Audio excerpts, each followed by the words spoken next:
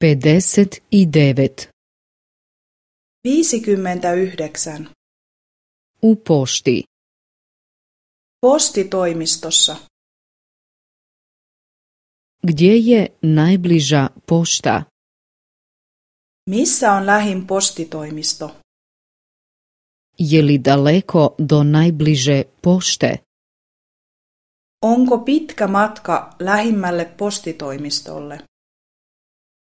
Gdje je najbliži poštanski sandučić? Missä on lähin postilaatikko? Trebam nekoliko poštanskih marki. Minä tarvitsen pari postimerkkiä. Za razglednicu i pismo. Yhden kortille ja toisen kirjeelle. Kolika je poštarina za Ameriku?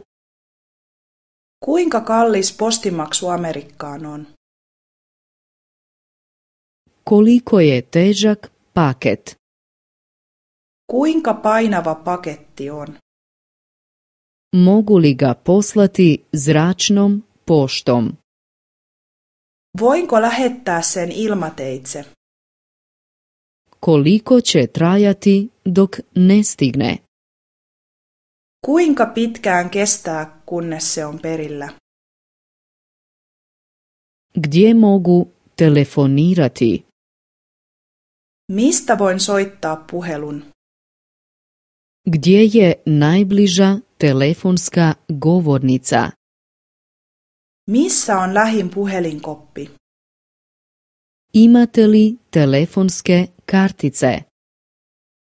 Onko teillä puhelinkortteja? Imate li telefonski imenik? Onko teillä puhelinluetteloa? Znate li predbroj za Austriju? Tiedättekö Itävallan suuntanumeron?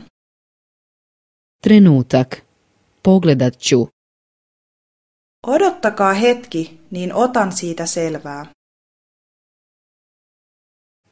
Veza je stalno zauzeta. Linja on aina varattu. Koji ste broj birali? Minkä numeron valitsitte? Morate prvo birati nulu. Teidän pitää ensin valita nolla.